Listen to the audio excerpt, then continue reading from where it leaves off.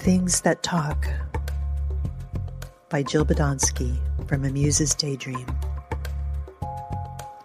I've been taking a master class from poet Joy Harjo.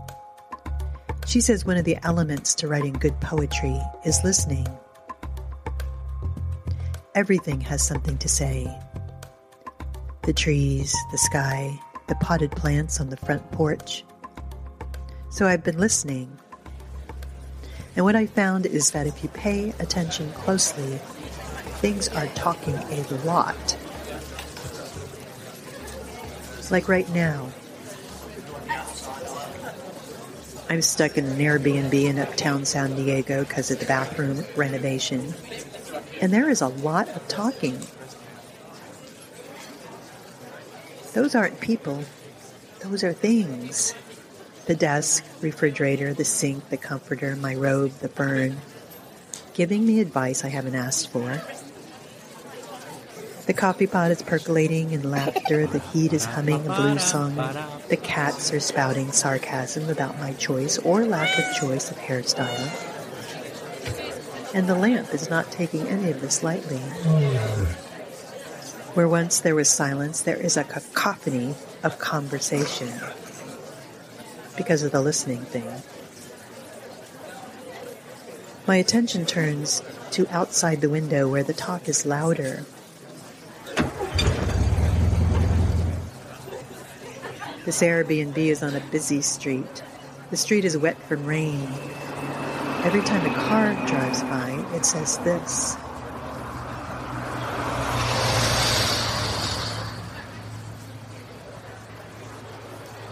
which, when I translate it from rain drenched pavement ease, is the word yes. Every time a car passes on the wet concrete, I hear the word yes.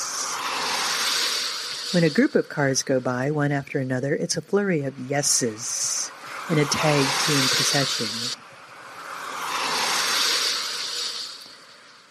The yeses come and go. Nothing stays yes for long. The noise evaporates into silence as soon as the cars pass. So I ask questions I wish were answered with yes. Will people ever live and let live? Will peace ever stay? Will fairness ever reign? There is a sudden absence of cars. Silence.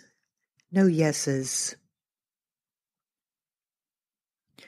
Not too long after, more cars are coming, but they don't say yes, they say wish.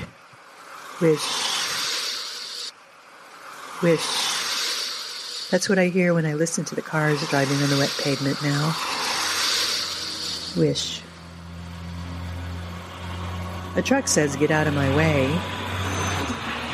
And a bus says, Same old routine, same old route, day after day. The rain is coming down heavy now. It starts talking. I listen.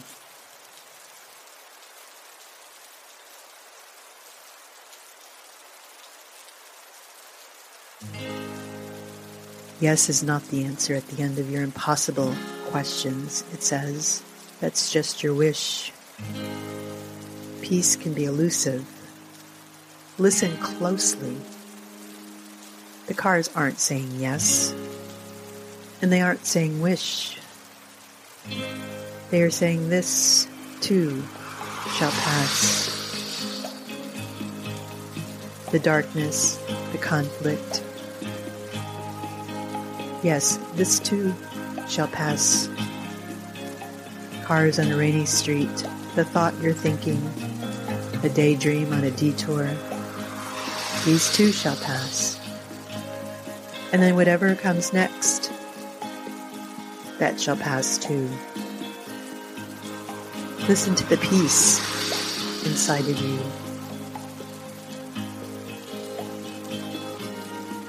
But first, you must practice finding it.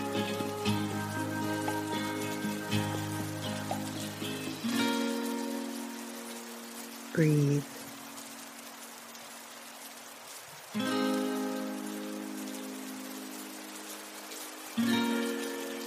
Thanks for listening.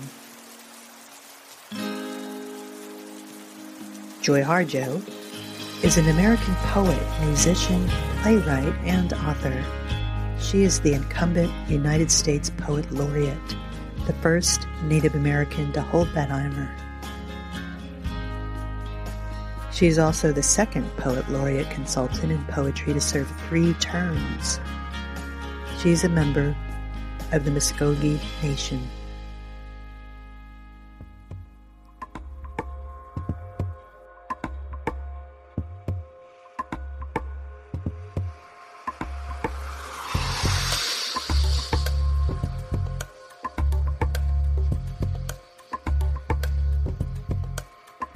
For creative workshops, retreats, and trainings, check out the show notes.